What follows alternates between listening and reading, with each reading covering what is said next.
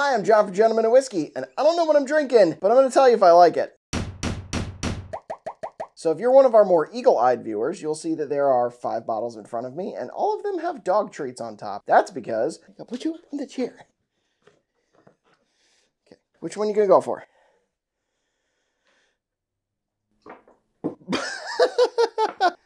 this one. Don't worry, she got all five of the treats. She's a happy dog. She picked this one.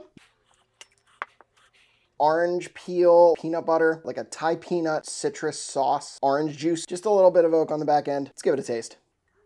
Definitely orange juice, leather, oak, bit of nuttiness, some vanilla. Flavors are a little weird, but they mesh well. I'm gonna go with I like this. Let's find out what it is. So this is Old Fitz Bottled in Bond Spring 2021. It's eight years old. I don't know if this is worth the price, but that's not the point of this. Point is just to say if I like it, and I do. If you like this content, please like and comment on this video and subscribe if you haven't already. And we hope you'll join us in drinking like a gentleman. Cheers.